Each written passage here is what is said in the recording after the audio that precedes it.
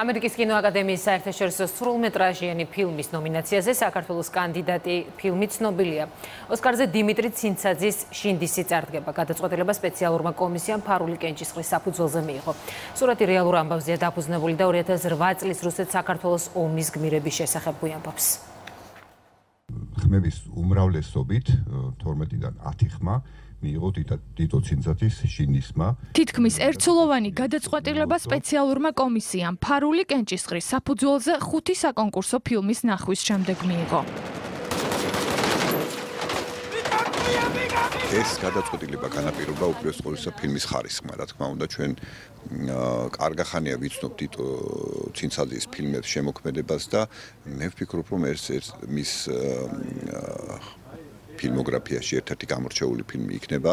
იმდენად სული შემწრელი ფილმია და მხატვრულადაც იმდენად მაღალ დონეზეა გადაღებული.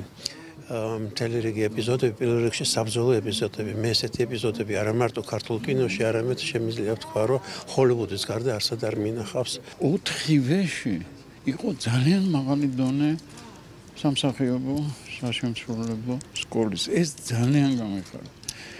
როგორც უფროსი თაობის სახიობები უკვე უფროსი თაობა არიან ისინი ასევე ახალგაზრდები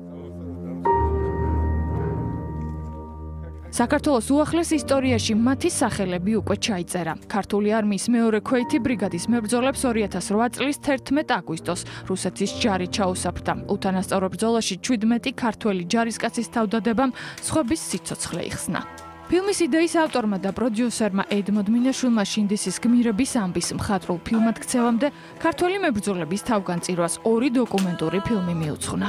რეჟისორ დიმიტრი ცინცაძის სრულმეტრაჟიანი ნამუშევარი ქართველთა გმირობის ნამდვილ ამბავს ახლა ჰოლივუდს უამბობს.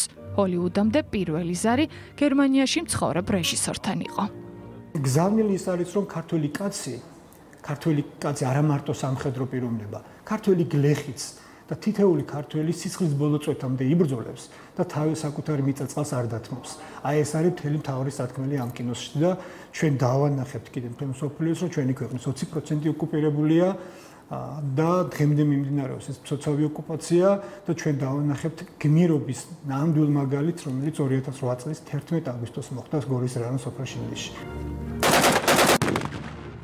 ფილმში როლებს ცნობილ ქართულ მსახიობებთან ერთად ჯარისკაცებიც ასრულებენ. გორის რაიონში სროლის ხმა კიდევ ერთხელ შინდისის გადაღებების დროსაც გაისმა. პროექტში აქტიურად მონაწილეობდა საქართველოს მთავრობა. გამოიყო დიდი რაოდენობით სამხედრო ტექნიკა. აი ხა იწება ყველაზე მთავარი და ყველაზე მნიშვნელოვანი. ეს არის ოსკარის კამპანია. არის გარკვეული თანხა რაც კულტურის სპორტის და განათლების სამინისტროს აქვს გამოყოფილი მაგრამ ჩემი აზრით სახელმწიფომ ცოტა მეტი უნდა გამოყოს ფილმის სპეციფიკიდან გამომდინარე იმიტომ რომ ძალიან მასშტაბური პიარი უნდა გამართოს ლოს-ანჯელესში და ნიუ-იორკში ვიტო ცინცაძის შინდისი ბრძოლას ახლა ოსკარზე საერთაშორისო სრულმეტრაჟიანი ფილმის ნომინაციაში მოსახვედრად დაიწყებს